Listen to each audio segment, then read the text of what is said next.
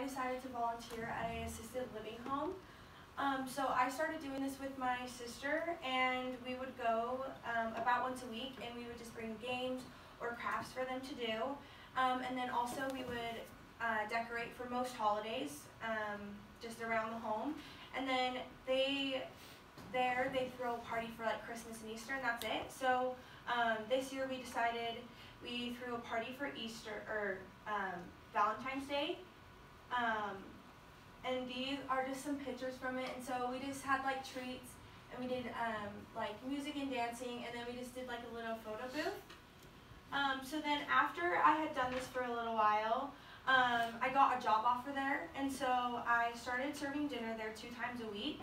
Um, and so since I um, started working there, I was not able to volunteer because you're not allowed to be um, on their property doing things unless you're getting paid. Um, and so I decided to find other ways to kind of like volunteer while I was working. Um, and so I just did this by saying hi to everyone, even if like I was not personally serving them dinner or I didn't know them. Um, and then I also would go a little bit before shifts and, or stay after because there's always people walking around and I would just talk to them. Um, and then they really love it when you, they know your names or you know their names. They'll always ask you if you know it. And so um, one of my goals was to memorize everyone's names. There's like hundreds of them, so I didn't quite get everyone's, um, but I did get a lot. Um, so the importance of um, volunteering um, at a retirement home is a lot of the activities like throughout the week. They usually have one or two, but all of the other ones rely on people to come in and volunteer um, to do it. and then a positive difference that I made and like other people that volunteer or work there is obviously their family does not live there, and so we're their family away from their family, and a lot of their, some people have family that never come in, um, and so one of our jobs is just to try like, like to treat them like they are our family.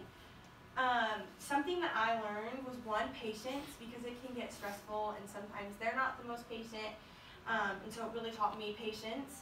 Um, and then I also learned a lot of advice because they love to give you advice um, and most of it I actually have used.